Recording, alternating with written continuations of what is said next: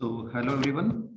So uh, today we are going to talk about uh, another plant hormones that is uh, zibrillin. Uh, last time पे हमने auxin की बात की थी about the synthesis of auxin, about discovery of auxin, as well as their physical uh, physiological role in plants development.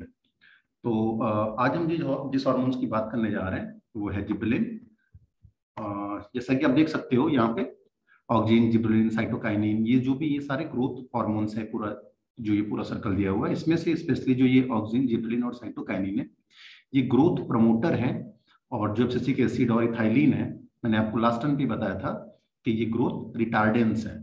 इससे related notes भी आपके WhatsApp पे उस दिन ही मैंने शेयर कर दिया था तो आप उसको वहाँ से कॉपी कर सकते हो। यहाँ पे हम आज कंसेप्ट की बात करेंगे। तो फिर से आप देखो, एक बार हॉर्मोन्स क्या होते हैं, उसको मैं रिवाइज कर देता हूँ।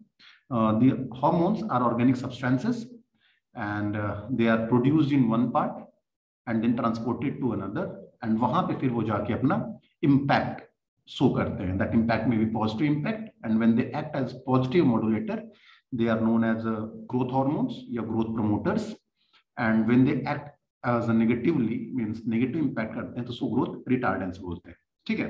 तो ग्रोथ हार्मोन्स को हम ग्रोथ रेगुलेटर भी बोलते हैं, क्योंकि ये पॉजिटिवली या नेगेटिवली उसको इम्पैक्ट करते हैं। आज हम जिस हार्मोन्स को डिटेल में जानेंगे, वो है जिब्रेलिन ठीक है? तो देखो इसके इंटरेस्ट जो डिस्कवरी है, वो बहुत इंटरेस्टिंग है। जापान के एक साइंटिस्ट थे कुरोसावा। यहाँ उनका नाम मेंशन नहीं है। कुरोसावा, उन्होंने क्या देखा कि वहाँ पे जापान में राइस जो हो रहा है, अचानक से उसका जो स्ट्रीम है, वो काफ़ी लंबा होता जा रहा है। बहुत इंटरेस्टिंगली और काफ़ी विग्रस ग्रोथ हो रहा है।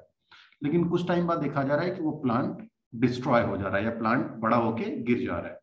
तो उस डिज़ीज़ को जो नाम दिया गया था वहाँ पे, वो था foolish seedling foolish seedling means कि स्टार्टिंग में we are getting food that plant is developing very normal and very proper मतलब देख के लगता था कि प्लांट का जो डेवलपमेंट है वो काफ़ी अच्छा हो रहा है। प्लांट में काफ़ी जल्दी से उसका ग्रोथ हो रहा है। बट बहुत जल्दी वो प्लांट गिर जा रहा था। तो फुलिस सिडलिंग ठीक है?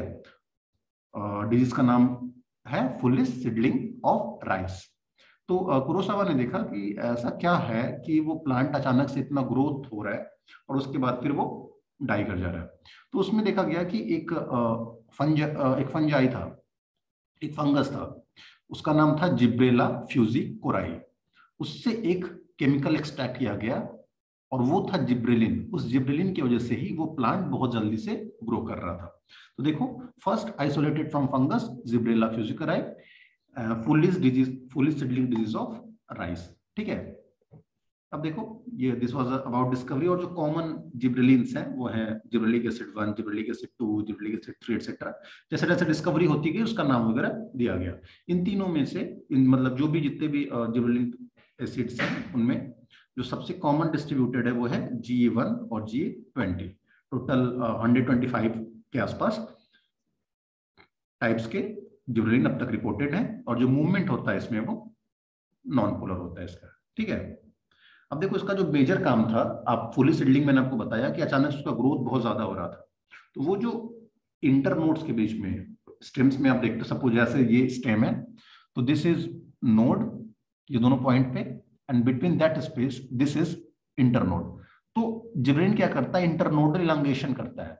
ये नोड के बीच का जो स्पेस इसको लंबा कर देता है। तो जब वो लंबा करेगा तो प्लांट्स भी काफ़ी लंबा हो जाएगा प्लांट्स भी बड़ा हो जाएगा। यहाँ देखो स्ट्रक्चर्स के बारे में बात किया गया G A nineteen G A twelve G A twenty etcetera ठीक है? और, इसमें से देखो चीप जो मेजर जो जिब्रेलिक एसिड है, वो है जी ए वन ठीक है? सबके अंदर एक कार्बन स्केलेटन होता है ट्वेंटी कार्बन का उसके अंदर। ठीक है? तो आपको स्ट्रक्चर्स में बहुत डिटेल नहीं जानना है।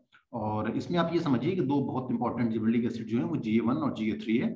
जी थ्री को हम क्या करते हैं कि जो भी हमारे प्लांट ब्रीडिंग प्रोग्राम्स हैं, उसमें हम बहुत ज़्यादा यूज़ करते हैं और जीए वन को हम स्टेम इलांगेशन में यूज़ करते हैं। ठीक है? अब देखो जिब्रेलिन को आइसोलेट कैसे किया गया, ये पूरा प्रोसेस है। ठीक है? अब देख, ये बता रहे हैं कि फ्यूजिक और जो है, उसके मेटाबोलाइट्स को लिया गया और उसके अंदर से कई सारे जो जिब्रेलिक एसिड्स हैं, उनको आइसोलेट किया गया। सिमिलरली जो फैसियोलस मल्टीफ्लोरस है, उसके अंदर से भी आप देखो कई सारे जिब्रेलिक, जिब्रेलिन आइसोलेट किया गया है। ठीक है? उसके अलावा बहुत जो हायर प्लांट्स हमारे हैं, जो एनजियोस्पम्स हैं, उनसे भी जिब्रेलिन को आइसोलेट किया गया और इनका नाम देखो, कुंजुआइन, pinto bean, sweet corn kernel, lima bean alpha लफा ये ये सब क्या है कि प्लांट, जिस प्लांट से आइसोलेट किया गया, उसके बेसिस पे नाम दिया गया अल्फ़ा लफा इज़ अ ग्रास और इसका नाम दिया गया है जो उससे जिब्रेलिक एसिड निकला अल्फ़ा लफा 1575 और स्वीट कॉर्न आप सब जानते हो, उसका नाम है स्वीट कॉर्न 1545 तो ऐसे उसका नॉमिन किया गया है, ठीक है? इसका मतलब ये फंजाई से लेके हायर प्लांट जो होते हैं, सब में ये पाया जाता है। अब देखो, जिब्रेलिक एसिड की फिजियोलॉजिकल इंपॉर्टेंस क्या है और वो कैसे रोल प्ले करता है, ठीक है?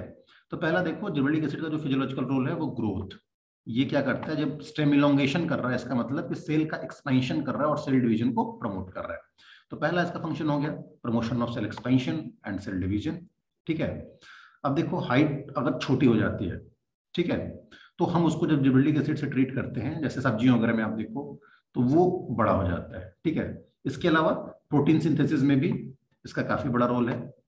ये पूरा प्रोसेस है कैसे कर रहा है? सेम ऑक्सीजन वाला मॉडल है आप जब पिछले लेक्चर्स को आपने देखा होगा तो जैसे ऑक्सीजन काम कर रहा है ठीक है? जैसे देखो आ, वो क्या कर रहा है? सेल का इनलार्जमेंट कर रहा है। वाटर रिलीज़ कर रहा है ऑस्मोसिस से, उससे भी सेल इनलार्ज होगा।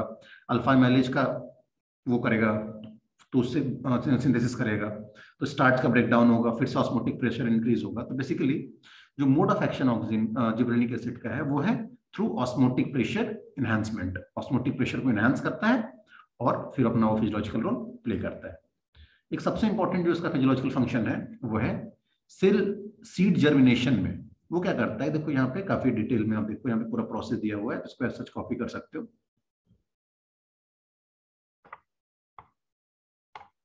देखो यहाँ पे। कैल्शियम कलमडली चैनल है उसके थ्रू ये काम कर रहा है ठीक है? अब ये सिग्नल मिला सिग्नल मतलब जो जिब्रेलिन मिला वो इससे बाइंड किया और उसने कैल्शियम कलमडलिन पाथवे को आ, को एक्टिवेट कर दिया। और फिर ये जाके प्रोटीन या एंजाइम की सिंथेसिस हो रही है अल्फ़ा माइलेज की, और वो जाके क्या करेगा सेल के आउटर लेयर को ब्रेक कर देगा। जो एलोरॉन लेयर है, वहाँ पे इसको ब्रेक कर देगा और सीट का जर्मिनेशन हो जाएगा। ठीक है? देखो इसको यहाँ पे लिखा हुआ है। The aleurone layer of seed is responsible for degradation of starchy endosperm control production of enzyme अब यहाँ बेसिकली आप देखो आपको बस इतना ही समझना है कि जो जिब्रेलिक एसिड होता है, वो एलोरॉन लेयर में अल्फ़ा माइलेज के सिंथेसिस के थ्रू सीड जर्मिनेशन में हेल्प करता है। ये पूरा पाथवे आपको ये समझाना चाह रहा है। ये सीट का स्ट्रक्चर्स है और ये इसका पाथवे है, इसको आप एक बार ध्यान से देख लेना। उसके बाद जो और फ़ंक्शन है, वो होता है induce bolting and flowering flowering में यू नो फ्लावर प्रमोट करता है और आप देखो ध्यान से तो ऑक्सीजन में हमने पढ़ा था कि वो फीमेलनेस को प्रमोट करता है। बोल्टिंग मतलब जो सूट इलांगेशन है, जिसकी बात मैं आप कर रहा था, ठीक है? बोल्टिंग का जो कॉमन टर्म है कॉमन मतलब अंडरस्टैंडिंग है, उसका समझना है, देखो ये जो, ये देखो यहाँ पे जो है, ये देखो सूट को इनहेंस कर दिया इसने। ठीक है? उसके बाद ये इंटरनोट का इलोंगेट करता है, ये मैं आपको पहले बता चुका हूँ। ठीक है? और एक एग्ज़ाम्पल दिया हुआ है जाइलोग्लूकान ट्रांसग्लाइकोसाइलेज ये भी प्लांट में स्टेम या इलोंगेशन को प्रमोट करता है। अब देखो ऑक्सीजन की तरह जिब्रेलिन भी क्या करता है? पार्थिनोकार्पी को प्रमोट करता है। Parthenocarpy means seedless and fleshy fruits तो अगर आप तो जैसे चीज़ों में सपोज़ कोई भी ऐसा चीज़ है जिसमें हम नहीं चाहते कि उसमें सीड हो, जैसे टमाटर में हम नहीं चाहते कि उसमें सीड्स हो ग्रेप्स में हम नहीं चाहते कि उसमें सीड्स हो। केले में हम नहीं चाहते कि उसमें सीड्स हो। तो ऐसे क्रॉप में हम क्या करते हैं कि पार्थिनोकॉर्पी को प्रमोट करते हैं, ठीक है? उसमें क्या होता है फिर सीड का जर्मिनेशन उसमें सॉरी सीड्स का फॉर्मेशन नहीं होता है। जो नेक्स्ट फ़ंक्शन इसका है, वो है क्या करता है? बट डॉर्मेंसी को ब्रेक करता है। यानी कोई भी सीड है जो जर्मिनेट नहीं हो रहा है, अगर उसको हम जिब्रेलिक एसिड से ट्रीट कर देंगे, उसमें जर्मिनेशन हो जाएगा। क्यों होगा जर्मिनेशन क्योंकि वो एलोरॉन लेयर को ब्रेक करेगा एमाइलेज सिंथेसिस के थ्रू और फिर सीड का जर्मिनेशन होने लगेगा। ये देखो यहाँ पे, वही जो मैं आपको बता रहा हूँ बार बार कि अल्फ़ा एमाइलेज की सिंथेसिस करेगा। इसको ऐसे समझो आप gibberellin will promote synthesis of alpha amylase alpha amylase क्या करता है? एलोरॉन लेयर को डिग्रेड कर देता है और जब एलोरॉन लेयर डिग्रेड होगा तो जर्मिनेट हो जाएगा। देखो this is your aleurone layer ऊपर वाला। अब जिब्रेलिक एसिड क्या किया? कि अल्फ़ा एमाइलेज को सिंथेसाइज किया और ये जर्मिनेशन ये जो वाल है, ये ब्रेक हो गई और जर्मिनेशन हो गया। ठीक है? उसके बाद जिब्रेलिक एसिड का अनदर फ़ंक्शन देखो, ये एब्सिसिन को एसेलरेट करता है। और उसके बाद it's an alternate for the substitution of cold treatment मतलब किसी भी चीज़ को कोल्ड ट्रीटमेंट देना है कोल्ड ट्रीटमेंट हम नहीं दे पा रहे हैं तो हम जिब्रेलिक एसिड का भी उससे अल्टरनेटिवली ट्रीटमेंट दे सकते हैं। उसके बाद इसका रोल सीड जर्मिनेशन में भी है रूट ग्रोथ में भी है फ्लावर को इंड्यूस करता है फ्रूट का फॉर्मेशन करता है। तो आपको ये जो इसमें आठ इसके फिजियोलॉजिकल फ़ंक्शन है ना, उसको क्या करना है कॉपी पे one by one one by one note कर लेना है। आपको जिब्रेन में याद कर रखना है कि उसकी उसका फॉर्मेशन कैसे हुआ फुली सेडलिंग के बारे में थोड़ा सा बताओगे और उसका फिर पूरा जो फिजियोलॉजिकल सिग्निफिकेंस है, उसके बारे में आप बात करोगे। इसके अलावा जिब्रेलिक एसिड्स के कुछ कमर्शियल यूज़ भी हैं, वो क्या करता है कि सीडलिंग के ग्रोथ को इनहेंस कर देता है और सीड और बट की डॉर्मेंसी को ब्रेक करता है और हम ये फिर इसको हम कॉमर्शियल लेवल पे भी यूज़ करते हैं।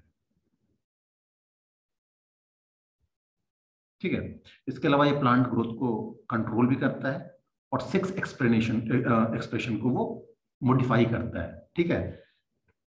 ये क्या करता है? It can induce the produce male और फीमेल फ्लावर ठीक है? लार्ज नंबर में प्रमोट करना। हम जो भी चाहते हैं जिस हिसाब से चाहते हैं उसके चाहे हम चाहें कि उसके अंदर मेलनेस का ज़्यादा एक्सप्रेशन हो या फीमेलनेस का ज़्यादा एक्सप्लेनेशन हो एक्सप्रेशन हो तो उस केस में भी हम जिब्रेलिन को यूज़ कर लेते हैं। कुछ कॉमन जो मॉडिफिक uh, जो जिब्रेलिन uh, है जिसको हम यूज़ करते हैं। उसके नाम देखो हाइड्रोजाइड्स सायोसिल्स ट्राइहाइड्रोबेंजोइक एसिड्स इन सबको हम यूज़ करते हैं। और उसके बाद बार्ली की माल्टिंग में भी इसको हम यूज़ करते हैं।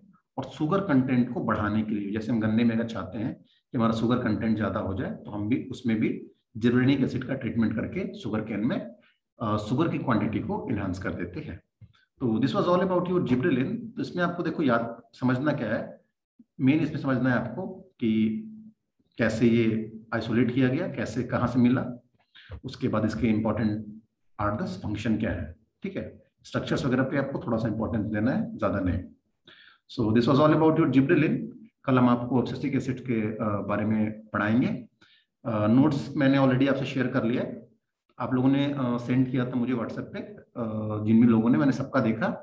सबके भी नोट्स जो थे वो ठीक थे बट उसको थोड़ा सा और इम्प्रूवमेंट उसमें लाओ। बहुत ज़्यादा थियोरेटिकल होने के बजाय पॉइंट वाइज पॉइंट आंसर दो। जैसे अगर आपने सिग्निफिकेंस लिखा है फिजियोलॉजिकल तो उसमें दस पॉइंट्स को बस नोट डाउन कर दो। बहुत ज़्यादा उसके अंदर एक्सप्लेन करने की ज़रूरत नहीं है। अगर आपको एक्सप्लेन करना है उसमें तो आप डायग्राम्स के थ्रू एक्सप्लेनेशन दीजिए। ठीक है? So this was all about today फिर नेक्स्ट uh, टर्न पे हम आपको एच पढ़ाएँगे। Thank you